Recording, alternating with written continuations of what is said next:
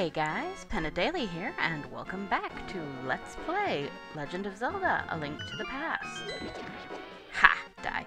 Today we are going to be taking on the Ice Palace. And ignore that Pikit. Yeah, as you can see, that warp tile is the only way to get in here. Get your thing ready, your uh, fi fire rod. Link, the magic flames will protect you inside this icy dungeon. Yeah, that's really the only way to kill those guys. I mean, I think you can kill them with a sword, but it takes a long time. The other thing you're going to use in this dungeon a lot is the hook shot. Because it's so much easier than trying to hit shit with a sword on these ice tiles. Yeah, these blue tiles, they have ice physics. Figures. So, this dungeon is a bit of a maze. And if you do the sixth dungeon first... Oops. Really, dude? If you do the sixth dungeon first, you can actually bypass a large portion of it. But A, the sixth dungeon, everything in there hits really hard because they expect you to have the upgrade from here. Ow.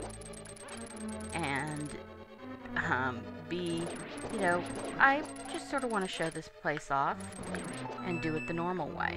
If I had the other item, I'd be very tempted just to skip. So we get the compass.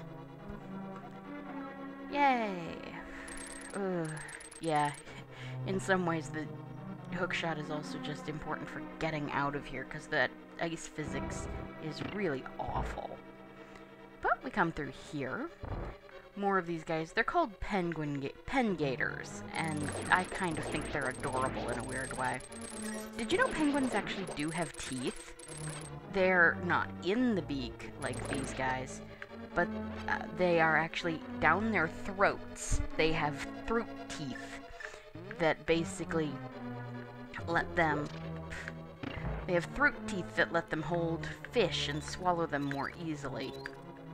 It's actually kind of, if you've ever looked down the gullet of a penguin, it is really creepy.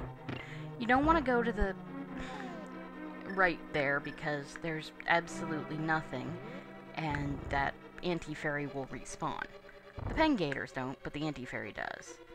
So, we kill these guys, mostly mm, because I'm killing them mostly because they're annoying and I don't want to deal with them but also because it's just, they, they really are kind of a pain.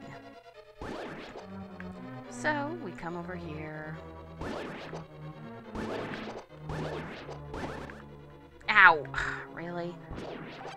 He hadn't started that when I... when I started swinging my sword. Anyway, but, so we need to get in there, but the only way to get through, we gotta do a delayed thing. A delayed fuse, so that's you use the bomb to set off the crystal switch. You're gonna need that later in the game. So we drop down here. And... Hmm... You cannot destroy the Skeleton Knight with the sword alone. When he collapses, he is vulnerable to another weapon. And it's just as easy to hit him...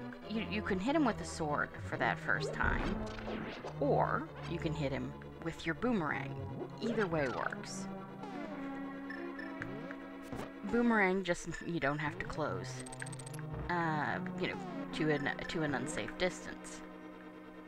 Of course, you know, if you're full up on hearts like me, you can use sword beams anyway. You may, in this place, want to use the, um... Ow, crap. The magic cape because the... Ah, Ignore that switch, if I remember correctly. Yep. You might want to use the magic cape to avoid the spikes, or just, you know, move your butt. You'll want to come down here. Really. You probably want the hook shot, is the other thing. Come down here, watch out for that, watch the fire bar and pull yourself over. And hey, we get a heart. That's pretty nice. Oops. And we go through here, and of course, there's a bunch of these guys. They, they're pretty much everywhere. And pick that up. You can step on that tile to go back, but you don't really need to. And penguin gators. All the penguin gators. It's easiest to go after these guys just by standing up here and just shooting them with the hook shot the whole time. And that opens the door. Alright, watch out for that. Now, we go left, and you can go down those stairs, but there's really no reason to yet. So instead, we're gonna go up. Now, the best, the, yeah, the best way to do, if you want to get everything, you just do this. You're going to have to fall anyway.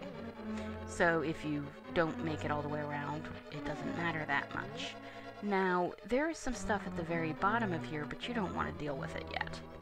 Do not all use, if you do not possess the medicine of magic, don't worry about it. You will get that. That happens a lot. You will get so much magic power in this dungeon. But, so, we're going to go this way.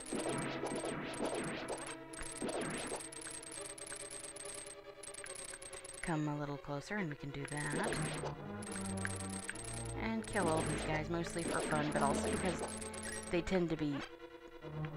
They, they get in your way very easily if you don't. So we come through here. Do we even have the map? No. No, we don't get the map for a little while. Okay, anyway. Watch that guy, and then you can pretty much... Ow. Yeah, that's, that, that's kind of an issue. If you're fast enough, you can dodge them, but I tend not to. So, kill these guys. There is nothing through that wall, if I remember correctly. That's... Well, actually, let's check. I don't remember. Yeah, that's right. It That's a fake wall. Or a fake crack. That'll happen sometimes.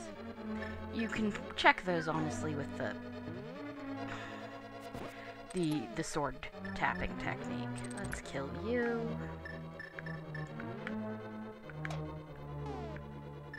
Now, I'm going to go to the magic power powder because I... Oh, no, actually, I'm not. Uh, you, if you lift this thing, that, you find both a key and one of those whirligigs. Just lead the whirligig into the wall. They're not particularly. You can also do that to kill them. Hit them with a... Yeah, hit them with... And there. Yeah, a lot of times when they die, you will get a... You will get bombs. And so we get another key. Oh, no, we get the map. Excuse me. So here is the entire uh, dungeon. So if we pull on the tongue, just like it was one of those T switches in the walls, you can go back up. We don't want to do that just yet. Or actually we do. I'm sorry. But then you can come back out through there. But we come up through here. Now, if you wanted, and we get the big key, which is nice. If you wanted, you could come out through there, but there really isn't anything up here that you need to go for. So go back down the stairs, pull the tongue, go back down these stairs, and back down here. Because you remember, there was, I deliberately didn't pick up this skull when I normally do? Yeah. This is also how you get back over that pit of spikes. So we've got an extra key, and let's see here. We can go down these stairs. We don't have to do the drop again, which is nice. Come on, down the stairs. Ack, stupid. Yeah, that's the only problem with these, uh, with this stupid, uh, ice, these ice tiles. Now, switch to First, yeah, because there's actually two of those guys in here. And now that we have the big key, now you're going to want to uh, set a bomb here. And then open the chest. Because, of course, the chest... that way, and you come down here. And we get the dungeon item, the blue mail. It basically does the same thing as the blue ring in the original game. It, you know, cuts cuts your damage by half. And this jerk. Now, this room is basically the center of our uh, of our thing. We're going to have to go through here, and eventually we're going to have to go through here and go down. But there's a actually no, we have a key, so that's fine. Oh right, right. We'll what we do what we would normally do is unlock that door, go down, and discover another locked door we can't actually access. So I'm not going to bother with that. Alright, but we come in here, and we can, let's see, I'm gonna go back to the magic powder, just, you know, ow. You can kill those things. Ah, jerk. And then they won't come out of the holes anymore. And that can be really, really nice. Really? Dude. I, I'm going to kill this thing. There we go. So, as I said, yeah, you can kill these guys one at a time, and now we can go back.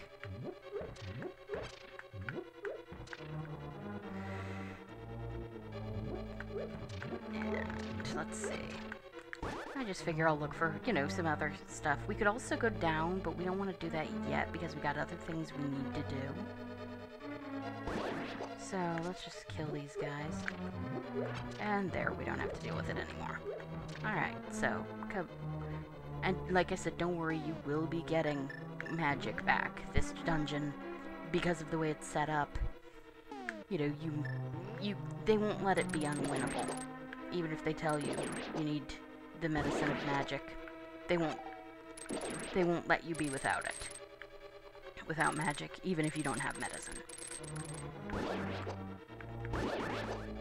Ah, let's see here. Ha! Kill these guys, and yep, look who's here.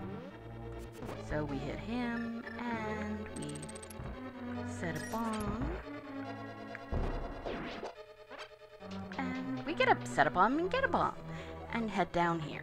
And of course, there's this jerk. Let's see. And we go through here. Let's see. We'll need there to kill that guy, and then back to... yeah, and we can kill these guys, and hopefully get some magic.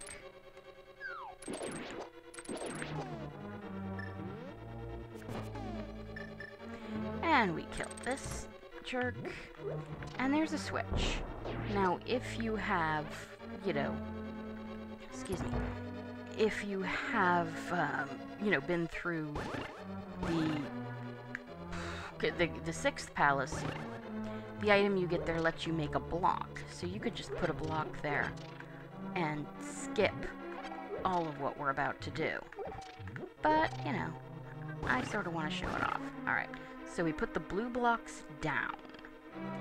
Now that will do some interesting things. For one thing, it opens up the pits in that room up there, and you can drop down those sides, and of course, will you will find yourself in a fairy fountain, just like in the Tower of Hera and the uh, Dark or the Eastern Palace. Now we can push one of those blocks down, but it won't do any good. It won't actually land on the switch. So we come here. You notice there's only one of those jerks left this time. So, we just come through here. Now we get to go all the way back up just so that we can come down on the other side. Yeah. You see why a lot of people do go for level 6 and its dungeon item first. But, you know, it's not that bad, it's just annoying. Let's see here. And another key. Because you're always going to need keys the way this is going. And, okay, so if we have one of these things, you can just come around here and lead it right into the wall. Run around here to just get these guys to come up, because while they're not at all dangerous. If they catch you by surprise, like while you're fighting this guy, you know, they can get a few hits in and that's no fun. So I like to be sure that they're not going to pop up on me unexpectedly. So we come through here, and this is actually the room where that tile is. The tile that we saw up. That told us, you know, don't go here. No, be careful if you don't have the medicine of magic. Ha! Yeah, those guys always annoy me. I mean, they're I find them adorable. I'm glad they brought them back for Link Between Worlds. But they can be really uh, dangerous, too. So, watch that. And now here, see, this is the room with where you would bomb through.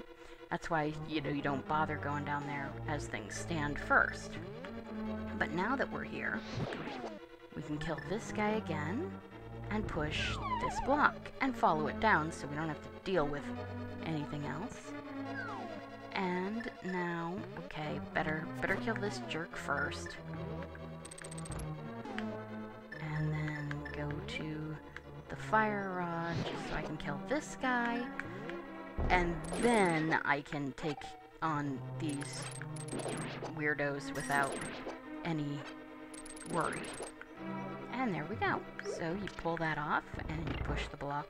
Because you can only push blocks one space. So if it falls more than one space away from where you want to put it, it's no good. That's why the block on the other side isn't usable. And we kill him, and we get some more magic. That's nice. Yeah, that, that will happen, unfortunately. But we're gonna do this and come over here and see what we get. Come over here. And let's see. Oh good, we get some more magic, so we're basically full up. Yeah, like I said, they want to make sure you have it, so even if they tell you to have the medicine, they, they won't rely on you having it. Now, I am going to put on the Bombos medallion, because we're about to fight the boss. Cold Stare. Yeah. What you're supposed to do is run around hitting him with the flame rod to melt him out of his thing while dodging the balls of ice that fall from the ceiling. But it takes a lot less magic just to use Bombos. And it works just as well. Now he's he is in this form just as vulnerable to the fire rods, so. And he's easier to hit than a Mola. Watch those pieces of ice, they spread into four bits. Just keep killing him. See? And unlike the others, he doesn't get particularly uh, more dangerous once there's only one left. So yeah, that's Cold Stare. Much less of a pain than his uh, counterpart in uh, Link Between Worlds. That one is just, ugh, ice physics. At least this room doesn't have ice tiles on the floor, otherwise that would have just been awful. I love Link Between Worlds, but some of its decisions make me wonder. Alright. Link, because of you, I can escape from the clutches of the evil monsters. Thank you. They say the Hylia people controlled mysterious powers, as did the Seven Wise Men. But the blood of the Hylia has become thin over time. We who carry the blood of the Seven Wise Men do not possess strong power anymore either. Our powers will increase if we mix the courage of the knights with the wisdom of the wise men. Only a short time remains until the gate of the castle linking the worlds opens completely. If you defeat Ganon, this world will vanish, and the Triforce will wait for a new holder. I believe in you. Good luck. Yep. May the way of the hero lead to the Triforce. So, now we have a spiffy new blue shirt, and we're going to get out of here before that Pikit eats our shield. And here we are, full up on life got a lot of money. Really don't need any of that. Just die. Okay, so now, really, our next thing to do is the... Our, uh, yeah, our next thing to do is the sixth dungeon. Hold on one second. I want to check something. But I think we're going to call it here for now. So, thank you guys for being here. I hope to see you next time, and you guys have a great day. See ya.